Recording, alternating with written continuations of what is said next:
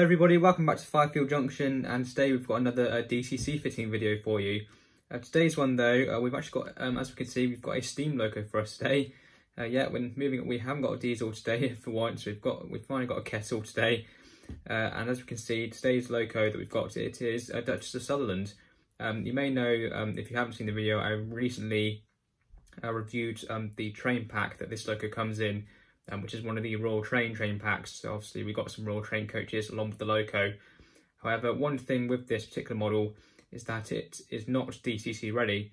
Despite it not being incredibly old, um, even though it's probably around 15 years old or so, um, this particular Loco um, is not DCC ready.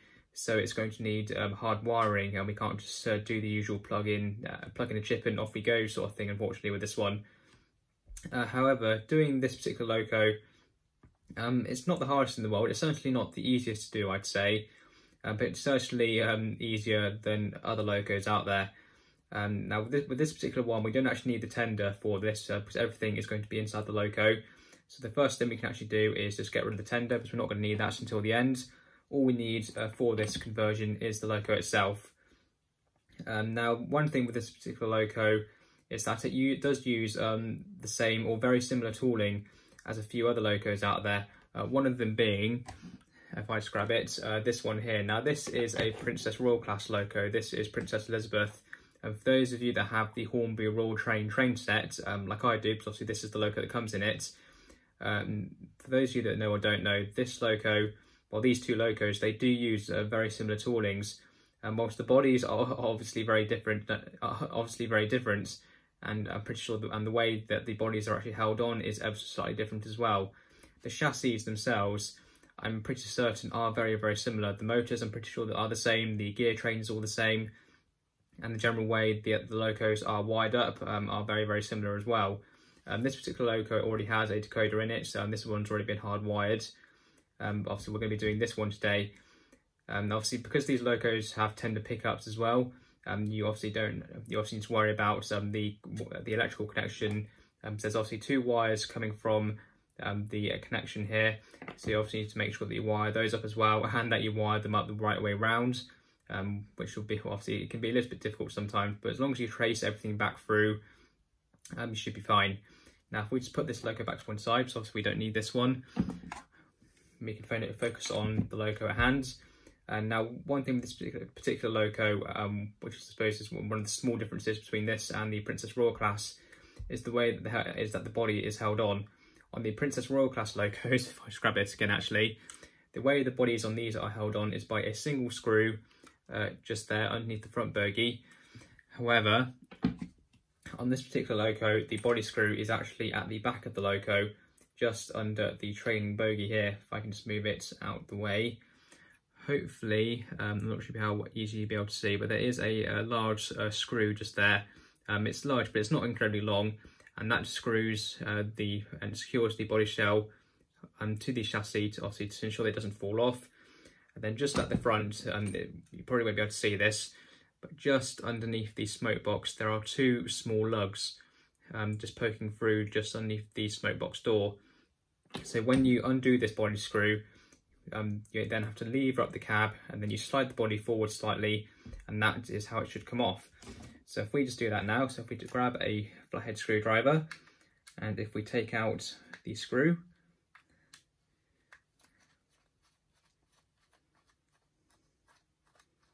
there we are, just like that. Ooh, there we go. So we've got the screw there. It's not a very big one, so make sure you don't want to lose it. If we just put that to one side, all we then need to do, just very, very carefully to ensure that we don't damage anything. As you can see, the body shell is now loose, so if we just lift that up, then we just gently push it forward. There we go. And the body shell comes off nice and easily like that. And we can now put that to one side. So now we can see um, what she's like inside at the moment. So we can see we've got the motor here. I'm pretty sure it is a five pole motor. Um, I could be wrong about that, but I'm pretty sure it is. Um, either way, it's a very good motor, um, but it does give very good performance. And we can see we've got all of the wires uh, from the pickups uh, coming from the loco. So we can see here we've got two wires here, uh, just on the top there, for pickups for the loco. So we've got one here, obviously for one rail, then one here from the other rail. Then we've also got just at the back here, Um, I don't know how well you'll be able to see them, they are the same colour, but these are the two wires um, for the tender pickups. Now, I'm pretty sure actually that they are all soldered uh, together. They are all meet at this um, capacitor. So you should actually be able to quite easily work out um, which uh, wire needs to go where. Um, so obviously they are already soldered uh, to the correct side. Obviously two of them will be soldered to one side of this capacitor and two of them will be soldered to the other side. So as long as you make sure that you know which one is which and you don't get them mixed up when you come to wiring the autocoder or socket or whatever, um, you shouldn't, uh, hopefully, fingers crossed, you shouldn't uh, get them mixed up. Now, obviously, first thing we need to do, um, first things first, we'll take off this little bit of tape there, which is holding the wires on. I think that bit of tape's actually gone, actually, but we'll keep it anyway for the moment. Just try and open up all of this. So we'll just grab the capacitor, we'll just try and unwrap all of the wires so that everything's a bit easier to see. There we are, the motor's a little bit sticky from the tape, just wipe the hands over. there we go. So hopefully you can see a bit better now um, where all the wires are going to. If I hold it like maybe like that for you, I'm not too, I'm trying to get this at the right angle so you can see it. But hopefully you can see there where we've got the black wire and then one of the wires from the tender coming to one side of the capacitor. And then we've also got and the red wire from the loco pickups will go into the other side of the capacitor along with the other wire from the tender pickups. So when we come in to wire the 8 pin socket, because we are going to be wiring, uh, we're going to do the usual um, 8 pin socket and then plug the decoder in um, to method today. We then should be able to make sure that um, when we come to wire that up, we should uh, quite easily uh, know which of these two tender pickup wires uh, goes where. So obviously if you do get them the wrong way around, obviously the loco will run, run fine without the tender, but as soon as you couple up the tender, um, you'll get a short circuit and then you'll know that something's wrong. Obviously, the next thing we need to do first is we shall desolder all of these wires uh, from the capacitor so that they're all nice and loose. So if we just have the soldering iron and if we just try and desolder everything, it might be a bit difficult because it's all been insulated, but we should be able to do this fairly easily. There we are, that's one wire. So actually we'll put that wire over, over that side. Then if we also do the wire, we tend to pick up wire that goes with that black wire. Might be a little bit difficult. Might be easier to cut this off actually.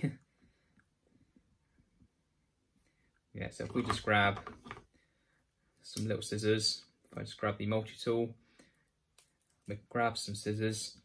If we gently try and cut the wire, or try to leave some excess of the wire, there we go. So that's wire. We bend down that side so we know that that goes with that uh, pickup from the loco. And then we've got the other two wires. We try and cut off some of this insulation.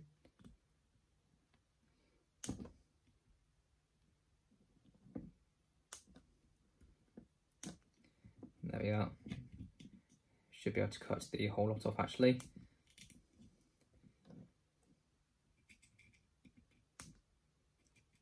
A little bit more, nearly there.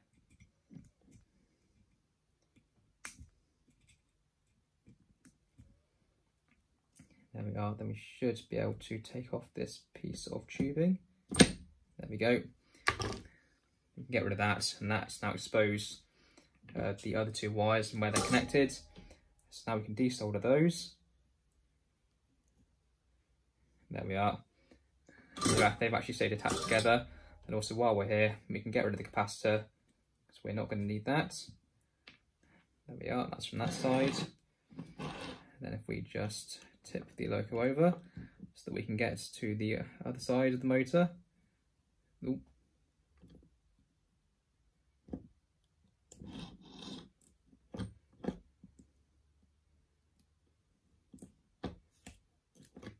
we go. And that's the capacitor off. Well, we're not going to need that because the decoder will replace the function of the uh, capacitor. And there we are. We've now got our, all of our wires all nice and free. And now we can wire up uh, the 8 pin socket. So if we just grab the sockets that I'm going to use. So I am going to use one of the pretty wide sockets. Now usually what I would do with these is I would just wrap all of the wires that I don't need out of the way. But I'll what I'll probably do with this one is I'll probably just cut them off and just get them out of the way um, because there is fairly limited limited space inside of the Loco. Um, there's still plenty inside for the sockets and the decoder, but we want to ensure want to ensure that we have as much space as possible uh, to put things, and we don't want to be squashing anything. Uh, so the wires that we don't need, uh, which are going to be the green, the blue, the yellow and the white, because they're all functions, and I'm very, very unlikely uh, to wire up any lights or anything to this Loco.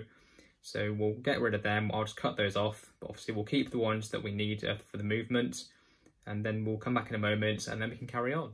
Okay, so there we are. So we've got rid of all the wires that we don't need, which has left us with the black, the red, the orange and the grey. And those are all the colours that we need uh, for movement. We don't need anything else. And obviously to wire them up, all we need to do is the red wire from the socket will go to this red pickup wire here. And obviously the uh, tender pickup wire that's connected to. The black wire from the socket will go to this pickup wire from the Loco. And this other wire just down here, if I spin the Loco around for you, uh, the other wire that's uh, just here, you might be able to see it. So we need to solder the black wire to those two wires. Then the grey uh, will solder to the bottom of the motor down there. And then the contacts on the top of the motor, we will solder the orange wire to. So hopefully that will make sense. Um, I'll, I'll go away and do it that all now. And then once it's all done, we can come back and then you can hopefully see uh, what I've done, get a better idea of it. Then we can carry on from there. So I'll get all of that done and I'll see you in a second.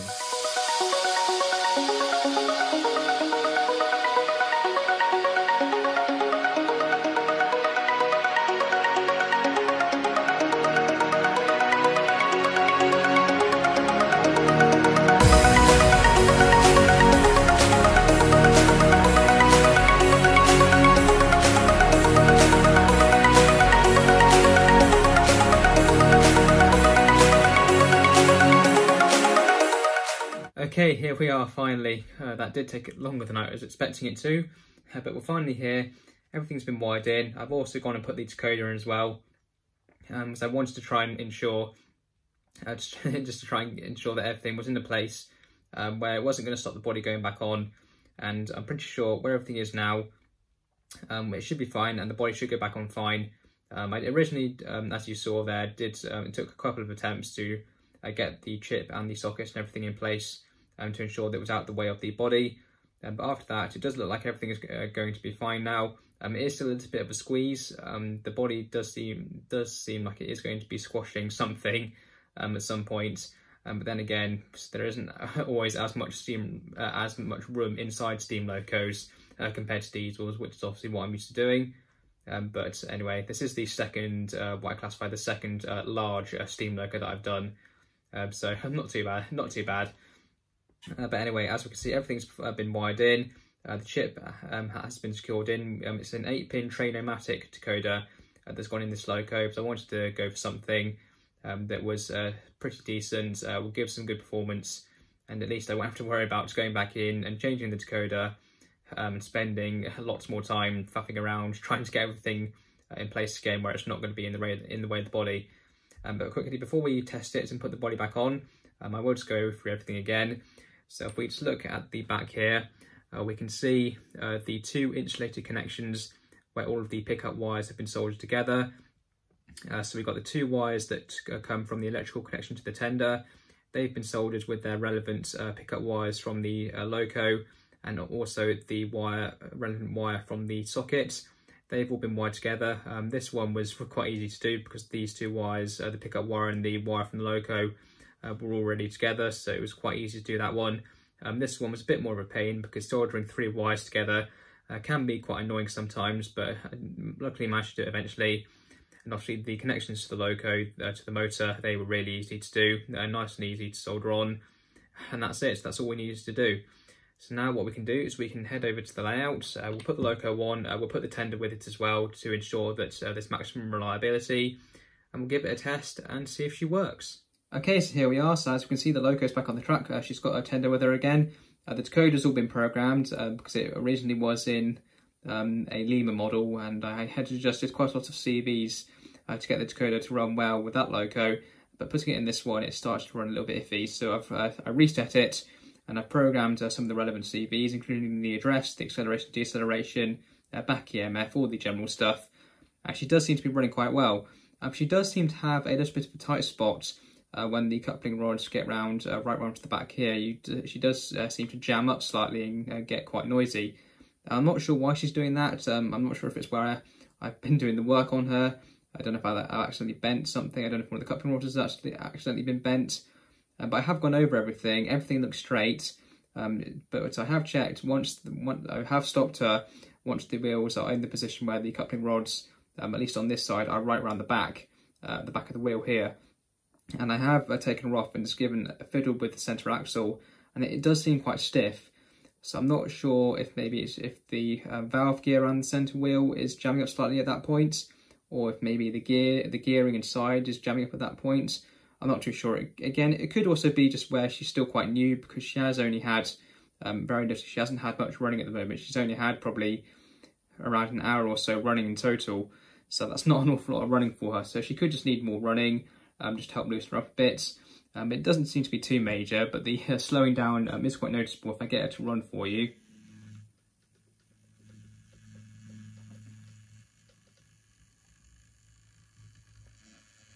You can see there when she gets to that point, she does uh, jam up slightly. Um, I'm not again. I'm not sure why she's doing it. Not sure why she's doing it. It doesn't seem too major. It does seem to be a bit more noticeable forward though. But once she's up to some speed, it does uh, pretty much go away. As you can see now, once she's got a bit of speed, um, she is pretty much fine. Maybe still a tiny bit of jamming up for that speed, but it, she is uh, pretty much fine now. There is does seem to be a slight knocking noise though. I'm not too not too sure why she's doing that, uh, but she was doing that um, originally as well. But again, she could just need some more running. But at least now she's DCC. She's running very well. And hopefully she'll provide many, many years of useful service. Yeah, overall, very, very good. Hopefully you found uh, the conversion useful for some of your locos. There are a few um, Hornby locos out there that do use this tooling or very similar tooling. So hopefully you'll be able to use it and get a loco uh, as beautiful as this uh, running on DCC. But thanks for watching everyone, and I'll see you in the next video.